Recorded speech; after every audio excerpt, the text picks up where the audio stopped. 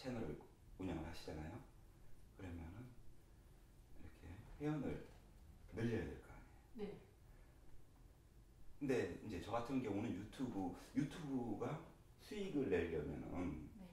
천 명이 넘어야 되거든요. 네. 구독자 수가. 네. 그러지 않으면 돈을 안 줘요. 네. 근데 저는 천 명에서 지금 아직 몇십 명이 모자란 채로 어, 처음부터 끝까지 아주 아직까지 유튜브에서 돈을 한 번도 못 받아봤어요. 네. 근데 그러면 어떻게 하면 천 명을 늘리는 줄 아세요?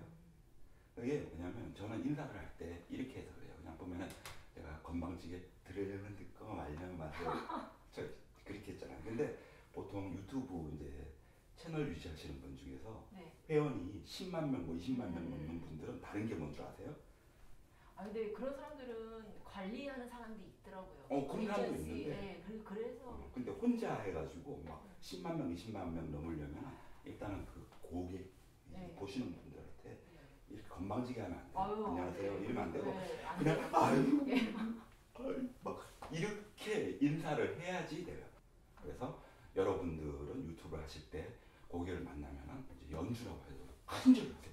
아유 감사합니다. 들어와 감사. 그냥